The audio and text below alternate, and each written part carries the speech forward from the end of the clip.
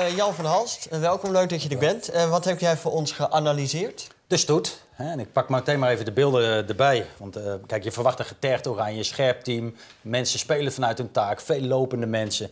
Maar als je kijkt naar dit eerste fragment, je weet echt niet wat je ziet.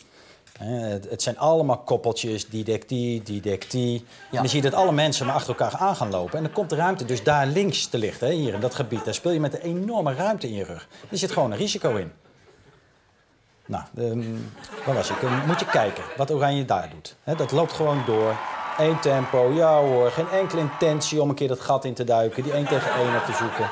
Nou, van zo'n Willem-Alexander mag je nu toch wel eens verwachten dat hij zich heeft ontwikkeld. He, de jongen blijft niet eeuwig het talent. Moet je nou zien hoe hij daar een beetje loopt te shocken. Ja, we gaan even kijken. Hij wordt wel vastgehouden. Ja, hij wordt hier dan wel vastgehouden. Maar dat wordt vaak gebruikt als een excuus. Hè. Hij speelt echt als een verdette. Alsof die positie hem zomaar toekomt. En dat is gewoon dodelijk. Oké, Jan, maar ze, ja, ze lopen wel allemaal achter elkaar aan. Het is, het is wel een praalstoet. Je kan moeilijk zeggen, nou, dan gaat die daar lopen, dan gaat die daar lopen, toch?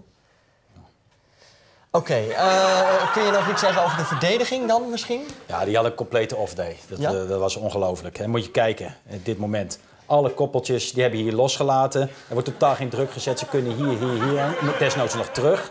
maar ja, ik, ik, begrijp het gewoon niet. Je werkt met z'n allen 33 jaar toe naar zo'n wedstrijd. Ja, dus eigenlijk is jouw conclusie slechte voorbereiding? Ja, ik denk het wel. hoewel het wel prematuur is. Ga jij nu ook eens woorden gebruiken waarvan je de betekenis helemaal niet weet? Nou, preceptief. Dankjewel, Jan van Halst.